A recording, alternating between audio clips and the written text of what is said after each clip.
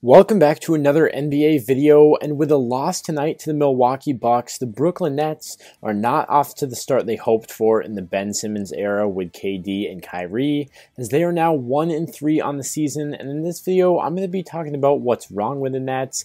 Now, it's very early in the season, so first of all, I'm going to say I don't think this means their season's over or they're not going to be a real playoff contender and a team that can win in the playoffs, because I don't think that's true. Kevin Durant and Kyrie Irving are the star star power that you need, and then from there you could build around them. And if you're looking at the one and three, they possibly have had the hardest start to the season in the league. As night one, they played the Pelicans, then they got a win over the Raptors, but then they lost on the road to the Grizzlies and the Bucks. So they have not had a walk of a park schedule at all, and they're going to be playing the Dallas Mavericks tomorrow night. So tough turnaround for that. So they've just got a tough schedule to start the year.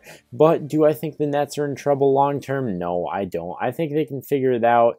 But if we're talking about them in the top category of the Eastern Conference, I don't think I can put them in that upper echelon of the Eastern Conference now. I do think there there's teams in that conference that are significantly better than them. Teams like the Bucks. I don't know if I'd put the 76ers there because the 76ers aren't off to a hot start of the season. I say you could put the Celtics ahead of them too because they swept them last year and until they can prove to beat them, I think they're in a different tier than them.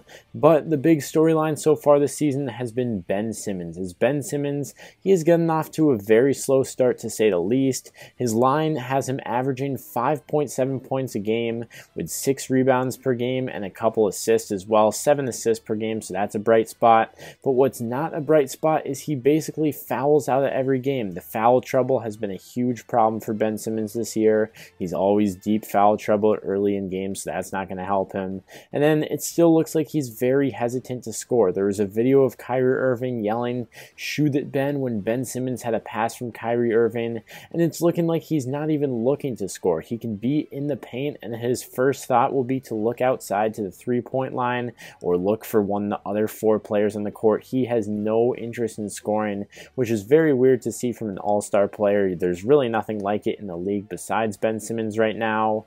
But as far as this team goes, Ben Simmons, he will have time to adapt. Kyrie Irving said post post game. He's barely played in the last two years, so it's going to take some time to adjust. And I agree that could be true. 82 game season, a lot can change. When Ben Simmons is back in the flow of things and lets his athleticism show, then I think he can be great. He can attack the rim, he could be a very good playmaker, and obviously a lockdown defender as well. And that could fit perfectly with two ball dominant scores in Kevin Durant and Kyrie Irving. Kevin Durant, he's been lighting it up to start the season, averaging 32 points a game.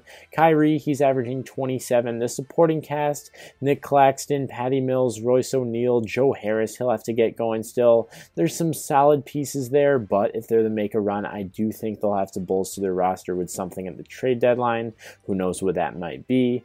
But as far as the Brooklyn Nets, they're one and three. I'm not overly concerned. I still view them in a similar way that I did at the start of the season. I do think there's teams like the Celtics and the Bucks that are definitely at a higher tier than them, but I do think they're going to be able to compete, and I do think this Ben Simmons situation will get better.